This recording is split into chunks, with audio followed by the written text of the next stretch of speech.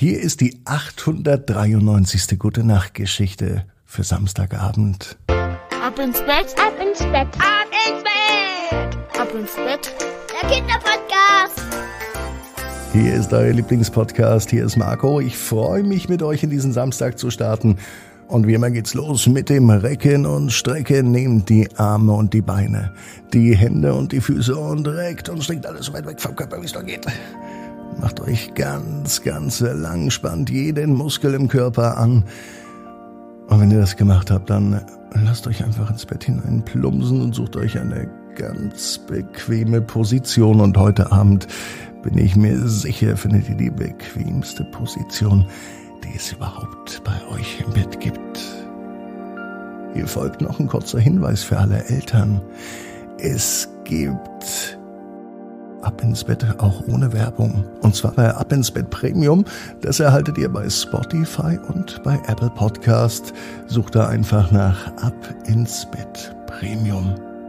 Jetzt kommt aber die 893. Gute Nacht Geschichte für Samstagabend.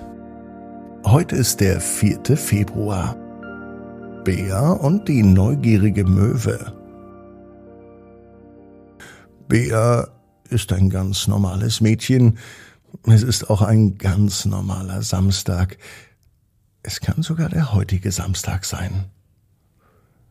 Bea ist noch etwas kleiner. Sie liebt es, an den Strand zu gehen und dort zu spielen, die Muscheln zu sammeln oder auch Steine oder manchmal einfach auch nur die Wellen beobachten. Eines Tages begegnet sie einer neugierigen Möwe, die sie auf eine Abenteuerreise mitnimmt. Bär und die Möwe, die fliegen zusammen über die Küste. Und dort oben ist es so herrlich. Sie entdecken viele wunderschöne Orte. Im Meer sehen sie sogar die Delfine springen, und die Wale schwimmen. Und als sie immer weiter fliegen und weiter fliegen, landen sie endlich auf einer Insel.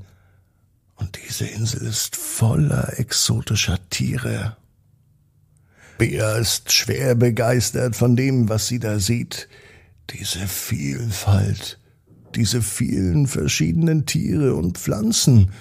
So was Schönes hat sie in ihrem ganzen Leben noch nie gesehen. Am liebsten würde sie die ganze Zeit hier bleiben und alles ganz genau entdecken. Doch so viel Zeit ist nicht. Die Möwe, die sie auf die Abenteuerreise mitgenommen hat, die erinnert sie nun daran, dass es irgendwann auch Zeit ist, nach Hause zu fliegen. Das findet Bea aber gar nicht gut. Wieso soll denn die Reise schon vorbei sein? sagt Bär. Die Möwe verspricht ihr aber, dass sie immer wieder zurückkehren werde. Bär erwacht auf einmal und sie merkt, dass alles nur ein Traum war. Und jetzt ist sie enttäuscht, dass die Abenteuerreise nicht wirklich passiert ist. Sie bekommt schon schlechte Laune. Aber dann entdeckt sie eine Muschel in ihrer Tasche. Die sieht genauso aus wie eine Muschel, die sie gestern Nacht auf der Insel gefunden hat. Sie erkennt, dass die Möwe ihr tatsächlich einen Besuch abgestattet hat und sich immer an ihre Abenteuer erinnern wird.